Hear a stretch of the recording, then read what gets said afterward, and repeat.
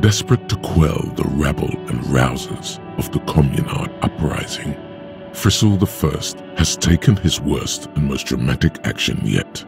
He has sent royal dragoons on horseback to pacify an angry mob, most of whom aren't even partisans.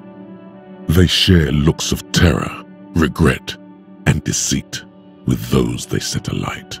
But they ignite much more than flames in the people targeted tonight.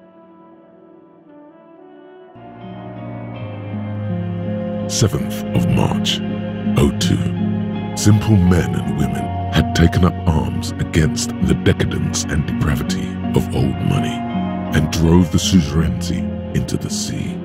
Communard heroes sit on the back of bullet-ridden, fatigued machines, a celebratory parade to help forget the wounds and lost loved ones. During this short-lived victory, it seems okay to let yourself be just a little happy. You are witnessing a moment between eras, the birthing throes of transformation. Bulldozers lie dormant where once they were fishing huts filled with real-life people. But everything is now in service to the new complex that slowly emerges from the mud. The Clare Center for Youth and Education. The bitter taste of salt and silica dust hangs severely in the air.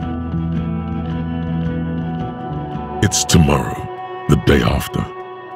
The wedding is over, the guests are gone, and the cleaning crew hasn't come yet. They're about 17 years late now.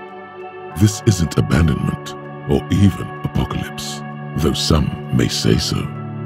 Martinaise is a monument now, a characterless tableau to borderless sociopathy, where only brands and good living exist.